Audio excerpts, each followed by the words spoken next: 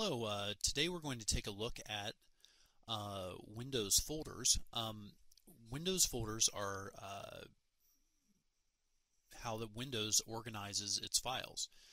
Um, so first of all, we're going to look at the C drive. So if I click on the Start menu and click on Computer, you'll see that our uh, Windows Explorer opens up and you'll notice that there we have our hard drive and that's our usually our C drive. Um, that acts like a one giant folder that holds all the rest of the things on your computer. So let's go ahead and open up the folder. And now we're looking at all of the folders contained on your C drive. Okay, so there are many, many, many folders. Now, as a beginning computer user, you don't need to understand all of these folders. Uh, really, what Windows does is to create a user experience. They they make a few folders on your computer special, and those are those folders that you interact with.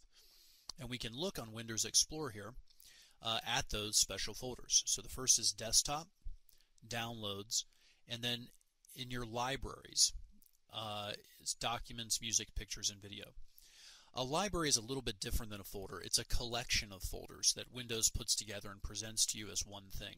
So for example, in your documents library, you have your My Documents. That's a single folder. And it's collected into your documents library that are listed as as one thing. Okay, so today we're going to just uh, create a folder, save a file into that folder, and then uh, basically find that folder again and open up the file. Um, okay, so we're going to go ahead and uh, click on desktop and notice that uh, you see my recycle bin here and you'll see the recycle bin right on my desktop over here. Um, so we can go ahead and close this Windows Explorer and now I'm on my desktop. And so how do I create a folder? Well, the desktop is just a display of one folder on your computer. It acts like every other folder. So I can go ahead and right click, uh, hover over new, and then click on folder. Okay, a new folder is created. It's already uh, um, opened up. Notice that the new folder is highlighted in blue. I can click off of that. Let's say I want to rename the folder. There are a couple different ways to do this. I can click on it, wait a second, then click again, and the new folder name will become editable. Or I can right click on it and select rename, and then new folder also becomes editable, and I can rename it. I'm going to call this folder school. Okay, let's go ahead and open up our folder school. So I do that by double clicking. And then we have, notice Windows Explorer comes right up. I can see the folder I'm in by clicking on, um, by looking at the top. This is called the path, so I'm on my C drive in a folder called Users, in a folder called Windows, in a folder called Desktop, and finally I'm in a folder called School. This area where it says folder is empty, this is the area where you'd see your other folders contained within the folder or the files contained within the folder.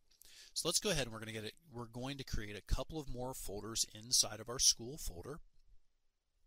So I right click, I select new, folder and I'm just going to go ahead and type and I'm going to call this English.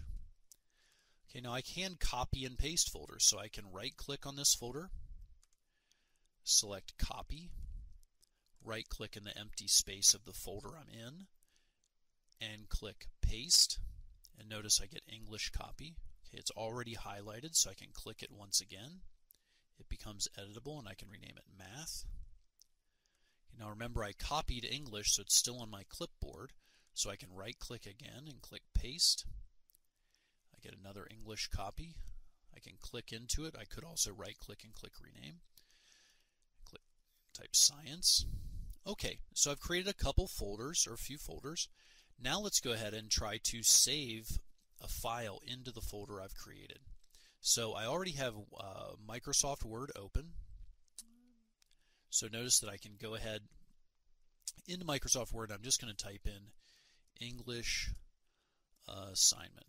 So I bet you can't guess where we're going to save this uh, this file to. So I have a blank file. So now I'm going to choose where to save it. Okay, this is one of the most important things to do on Windows because you need to know where you're saving to in order to know where to go to open the file back up later on.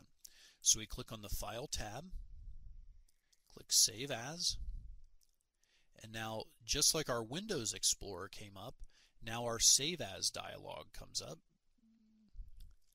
Okay, and on the left, I can go ahead, I can click into any folder that I want. So I can click, in this case, it starts me off in my documents library because oftentimes that's where people would like to save things.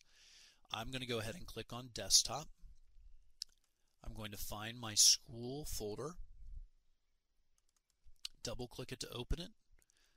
Now I'm inside school, so I'm going to double click to open English, and I'm going to save it as English assignment.x. So I go ahead and click save.